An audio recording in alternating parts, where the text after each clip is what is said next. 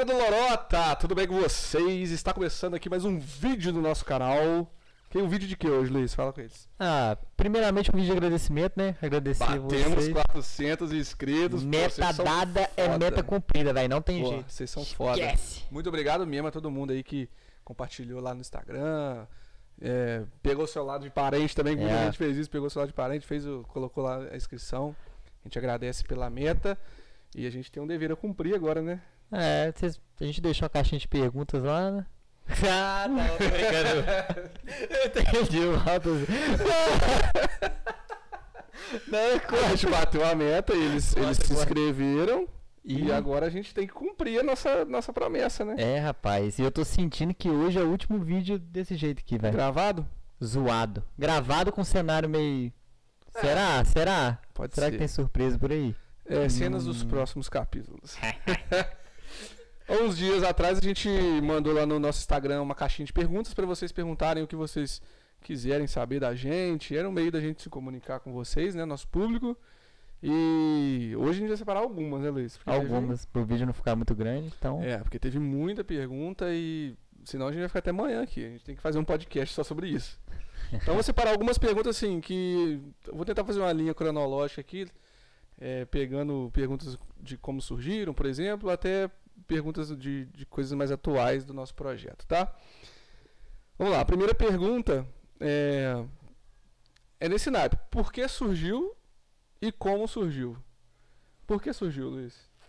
Cara, primeiramente eu acho que surgiu com uma ideia. Eu acompanhava muito podcast e entrei em contato com o Felipe, o Felipe entrou em contato comigo. A gente tinha a intenção de fazer algo desse tipo, só que a gente nunca botou pra frente, nunca botou essa, essa ideia em ação.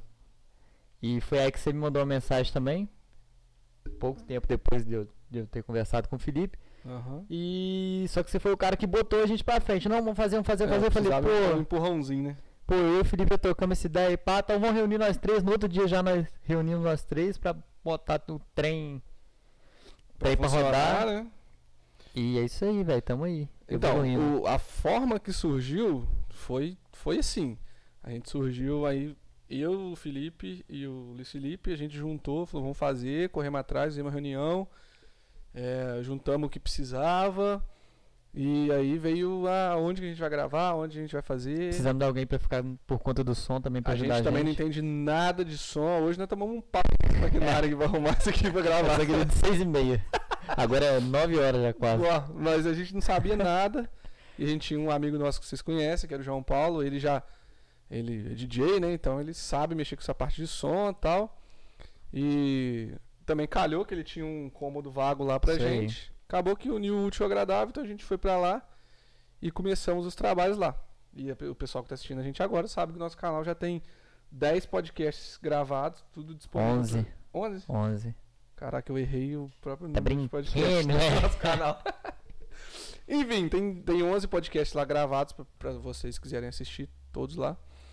E e aí aconteceu da gente precisar sair de lá, né? Isso. Aconteceu. Então, mas eu acho que eu acho que tem uma pergunta depois que vai perguntar sobre isso, então vamos, vamos deixar de molho por enquanto. E só pra não deixar vago o porquê que surgiu, acho que também pra gente dar. Como é que eu vou falar?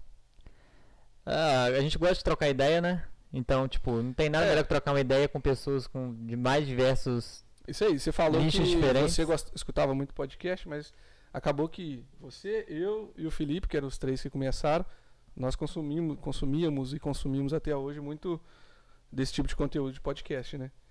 Então a gente Porra, só faltava fazer, era isso que precisava. é isso. Trocar uma ideia não tem nada melhor que isso, não, e a, a gente às vezes reunia pra tomar um e falava assim, velho, imagina se nós estivesse gravando um podcast aqui, de tanta história que a gente conta. É, ué. É, então, o porquê surgiu é mais ou menos isso, era gosto de todo mundo e eu acho que essa parada de trocar ideia, igual você falou, é Ganhar dinheiro trocando ideia, né? Que esse Ganhar cara. trocando ideia, né? e como surgiu também a gente, também explicou, né? Uhum. Vamos pra mais uma perguntinha. Como surgiu a ideia de montar o podcast? A gente também já falou. É, vocês vão trazer convidados de outras cidades? Com certeza, né, velho? Claro, né? É um. É porque assim, muita gente fala, ah, vocês vão trazer convidado de outra cidade, leva aquele cara lá, leva o cara lá de não sei aonde. Gente, podcast tem um problema que é essa esse translado do convidado vir. Logística, é o- né, mano? É a logística do convidado vir Os horários aqui, baterem. é, ter disponível uma hora. Você já viu que tem episódio no nosso canal de quatro horas e meia. Isso aí. Então o cara tem que ter o tempo disponível, tem que, tem que vir até aqui fisicamente. Então essa logística é, é um pouco complicada no começo.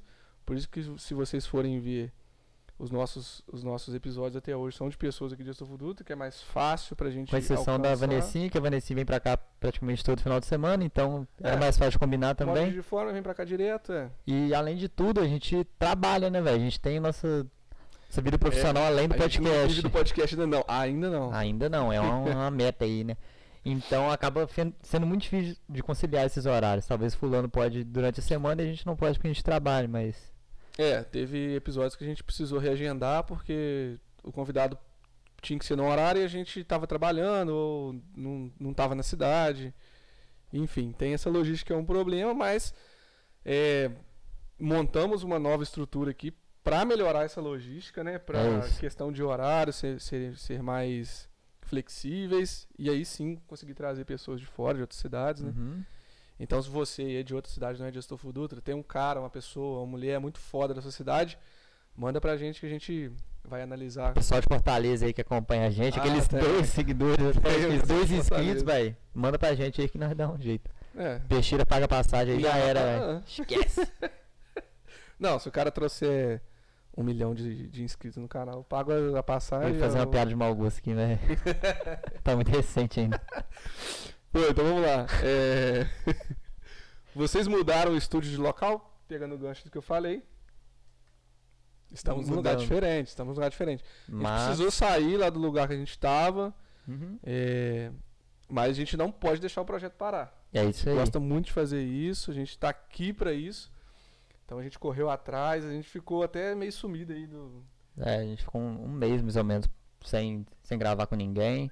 E Só- isso aqui é provisório, né? Esse, É, isso aqui é provisório. esse cenário aqui é provisório, a gente tá bolando algo aí em breve, vocês vão ver. Terão. É, em breve não, domingueira agora. Dia 14. É isso. Mas a gente mudou sim, a gente veio para um lugar específico para montar o estúdio do Lorota aqui. Inclusive já tem até a localização no Google Maps lá, Estúdio É. Lorota. Então a gente mudou, veio sim, a gente vai vir voltar com uma nova estrutura física, digital, enfim. Vai mudar tudo. É o Lorota 2.0, né? É isso aí, evolução, mano. Sempre. Evolução sempre, isso aí. É, Quando voltam os episódios? Domingão, pô. Domingão tem Lorota Podcast ao vivo. Já que vocês ajudaram a gente com os 400 inscritos, a nossa meta, a gente vai trazer para vocês um episódio ao vivaço, especial, domingo, dia 14 de novembro. O episódio. O Então, episódio, vai 10 ser horas da manhã. a partir de sintonize 10 aí com a horas da manhã. É, a partir de 10 horas da manhã pode entrar no canal do, do E Lorota no ficar esperando lá que nós vamos estar aqui, ó, Ó, os trampos. Terão várias surpresas, hein? Sorteios rolando aí, promoções. Ih, rapaz, é, tá vindo coisa Então, boa aí. Fique ligado aí, velho. Tem que ficar ligado no Instagram do Lorota, arroba Lorota Podcast. E dia 14, 10 horas no canal do YouTube. É isso A aí. gente vai aparecer lá nossa cara vivaço. maravilhosa lá. É, perguntaram se teve algum integrante que saiu. Sim, saíram dois, né? Qual a gente falou no começo, é, éramos em quatro. Isso. Dois saíram por motivos pessoais, profissionais também. E É, é, é. Tava num, num outro. Assim, tava num, num outro projeto da vida no momento e Isso. precisou. nenhum dos dois queria sair, abrir mão do, do Lorota, mas infelizmente, tipo, É. E teve briga pra caralho, nós caímos na porrada. A gente meteu o cacete um no outro, briga mesmo. Não, e essa carcassinha aqui, ó, tô vivo até hoje, né, velho? Mas ele era o juiz, tá ligado? Pode crer. Não, brincadeira, todo mundo saiu numa boa, não teve briga, não teve nada. Foi só. As pessoas tiver, tinham outros projetos nesse momento pra vida delas e, e saíram. Mas em contrapartida, Não, ah, segurou, segurou, segurou. Tá. Calma, calma. Assistam às 10 horas da manhã, Loroto Podcast ao vivo no domingo, tá? Dia 14. Pô, o cão fica bolado, sacanagem. Perguntaram: o mais difícil é começar. Foi a afirmativa. Com o mais certeza. difícil é começar. Isso aí. Quais foram as maiores dificuldades? Porra, velho, qual foi a maior dificuldade? As maiores dificuldades. Foram tantas, né, velho? Foram tantas, é. Eu, Assim, no começo, quando a gente tava é, lá no, é, no, no né? primeiro, no, no primeiro local lá, acho que a maior dificuldade foi realmente começar, velho. Acho que a gente patinou demais no começo. É. Ah, não, vamos, vamos gravar sem falar o nome, depois a gente descobre o nome, a gente decide o nome e não gravar, ficava esse negócio. Uhum. E. Cara, não. É. É isso mesmo, a gente é, procrastinou muito, mano. É, a gente se reuniu a primeira vez foi em maio. O primeiro Lorota que foi ao ar foi em julho, dia 10 de julho. Dois então, tipo meses, assim, né? dois meses. É lógico que a gente tinha que preparar tudo e tal, mas É. Mas, tipo assim. tirar a eu- ideia do papel em si, quando começa a mexer no nosso bolso, mano, aí a pessoa sente, É. tá ligado? Então. E acaba, sei lá, atrasando isso também, né, velho? Sim. A gente tinha muita Acaba ideia pipocando, muita vontade de fazer, a gente já tinha o grupo criado, já conversava, falava sobre, só que não tinha aquele start inicial ali, aquele começo. É, faltava um empurrãozinho, né, mano? Foi até o dia que eu acordei, eu lembro direitinho, eu acordei e falei assim, velho, quer saber? Vou comprar esse microfone Foi, aqui aham. e já era. Tum. Comprei o microfone, mandei no grupo, galera, tá comprado, agora não tem como mais voltar pra trás não. Aí um foi, não, então esse dinheiro aqui você parar, a gente compra o microfone, com... Foi coisa de, de galinha ciscando mesmo. A É isso com- aí. compramos um Até negocinho hoje, aqui, né, mano? então paga- terminamos de pagar, compramos outro negocinho aqui. E, e, tipo, todas essas dificuldades valeram a pena hoje, né, mano? A gente só tem a, tem a crescer, a gente já cresceu bastante. Se vocês virem a estrutura que era no começo e a estrutura que vai ser a partir de domingo, acompanhem lá. Cara, eu quero ver a cara do- dos convidados novos que vieram. Pode crer, mano. Pode E, crer. Tipo assim, Que porque evolução, a- né? às vezes o convidado assistiu a gente lá no YouTube e viu nossa estrutura lá, com as cortinas e tal. Manequim, chegar com Uma nova estrutura aqui deve. Vai ser diferente, vai ser legal. Até pra nós mesmo, que a gente não viu a estrutura pronta ainda, tá ligado? É, Que, Porra, é vai verdade. dar um... Escorrer suor másculo nos olhos, velho. Porra. Nosso Instagram vai chover de, de, de stories no, no novo, Amém. novo estúdio. Amém, isso aí.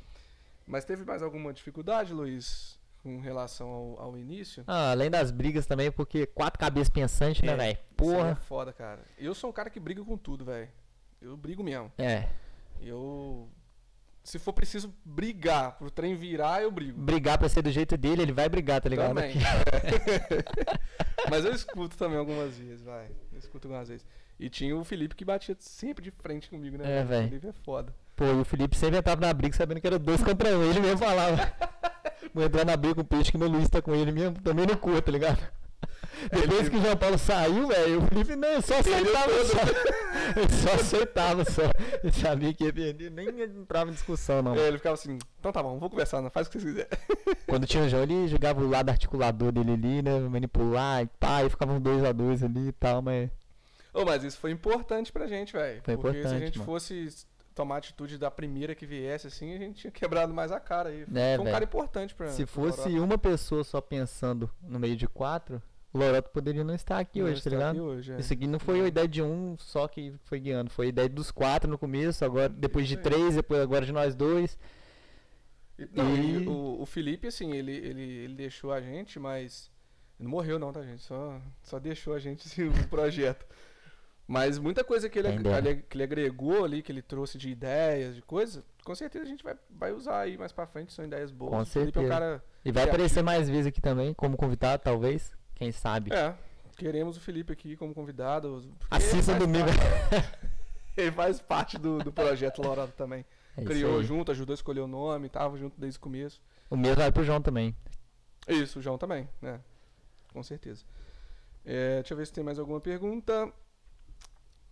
Não, essa- não era pergunta pra, pra calhado pra caralho. Lança aí, pô, foda-se. Tá. Missu, desculpa, foi a pergunta que fizeram aqui. Né? É verdade que vocês não chamam o Missu, pois ele dormiria no meio do programa. É. Esse é o único e o único motivo que a gente não chama o Missu, é isso. É, velho. Papo o homem tem, tá? Puta história pra contar, ele tem Gosto, demais. Gosta de conversar, o Missu. Idealizador do nível dos caras, maior aniversário da região. Esse pá. Não, maior re- é aniversário do mundo, se pá do Brasil, velho. Que nível isso, dos caras, o cara é- brabo, velho. Pra, o cara pra organizar uma festa daquele tamanho pra uma cidade tão pequenininha assim e ficar do jeito que fica, o cara tem um crânio enorme, né, velho? Avantajado. E o único motivo é esse mesmo, porque ele dormiria no meio do papo. Aí é foda, né, velho? Mas. Não, é porque eu tô lembrando o Missu no carnaval dormindo sentado no, no, no banquinho da praça, velho. Dorme em qualquer lugar. Ô, velho, no dia que a gente veio pra cá a primeira vez, mano, que organiz... chamamos a galera aí e tal, fizemos uma resenha e conseguiu dormir aqui, velho. Então, Foi. ele chegou depois, ele cochilou ali ainda, velho. E som torando e nego falando alto. Nossa. E ele lá, ó, Alto apagado. Cara, aí ele pagadaço mesmo. Nós chamamos. Salve, velho. salve, é um velho. cara, velho. Ajudou muita gente aqui na, na- na montagem do, do, do início do estúdio aqui, porra. Ajuda até hoje, né, velho? Isso, eu tô, preciso, tá faltando um prego. Ele, pera aí, ia lá voltar com um prego e uma garrafa de café. Camisinha pra cerveja, nada. é mesmo, deixa Tem mais coisa do Missu aqui do que nossa, se for parar, vai ver. É mesmo, até o travesseiro que o Luiz dorme aqui no Missa Cara. Não, o travesseiro tamanho normal, velho. Se fosse travesseiro do Missu, aí, porra. É um minha cabe na- colchão. um barato de bala na cabeça É. do cara. O cara vai ver esse vídeo e fica bolado. Mas, é, mandaram outra pergunta aqui. Vocês vão. Peraí. É, vocês mudaram a estrutura é, física de vocês com relação a equipamentos? Sim, sim, a gente deu uma evoluída boa. Teve um avanço aí, né, de equipamento. Porque assim, a gente, a gente tinha um pouco de. Assim, uma limitação, às vezes, com alguns equipamentos que a gente tinha, e às vezes alguns episódios ficavam não com tanta qualidade quanto a gente queria, né? Uns ficavam com áudio bom e a imagem ruim, outros ficavam com a imagem boa e o áudio ruim. É. Não, e assim, não, não foi desprezo nosso, velho. Não foi desmazelo nosso, não. Porque a gente. Nossa, a gente testava essa porra o dia inteiro. O dia inteiro a gente testava, agora tá tudo certo. Sentava pra gravar o podcast. No final, né? Porque como era gravado, o celular ficava gravando. E o áudio ficava no computador, a gente não conseguia ver quando a gente tava ali conversando.